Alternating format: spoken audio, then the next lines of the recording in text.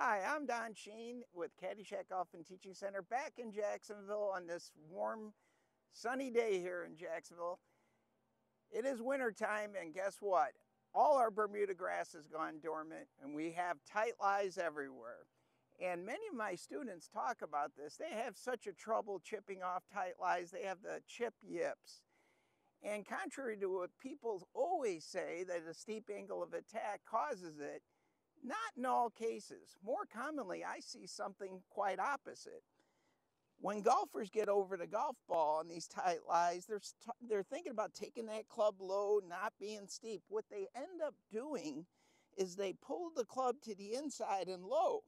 Now that club is so shallow, the only way to pinch down on the ball and hit a solid chip, they go down with their right side and they do this and they hit that fat shot after they do that a couple of times, they're terrified of hitting that fat shot. Those that do it know what I mean. So they don't want to hit it fat. So they take it low, shallow inside. They go down and they pull their arms up and they blade it across the green. What we want is the proper descending blow on the golf ball. Yeah, too steep will get you in trouble, but in most cases that I see, people are too shallow and too inside on the takeaway on these chips.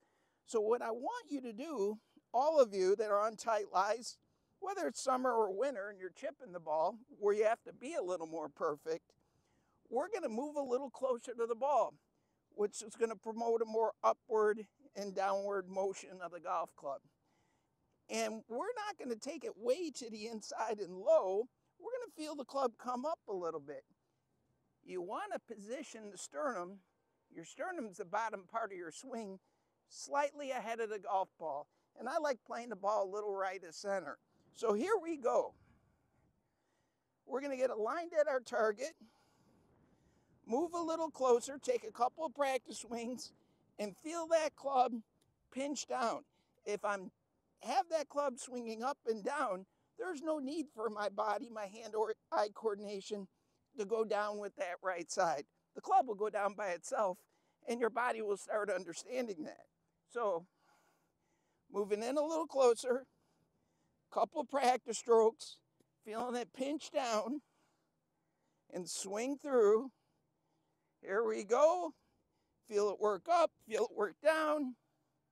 And I just hit a very solid, crisp chip shot Go in, ball. I just went by the hole back a little bit.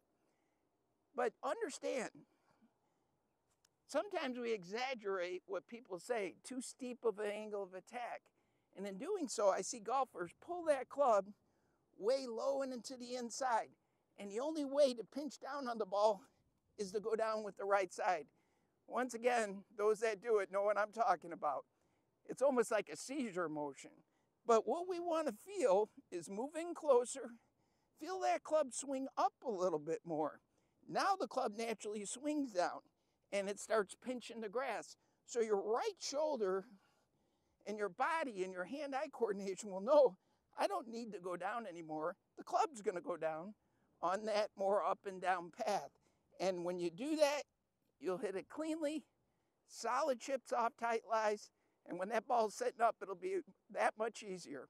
Practice the way you take it back, and you'll be a better chipper of the ball.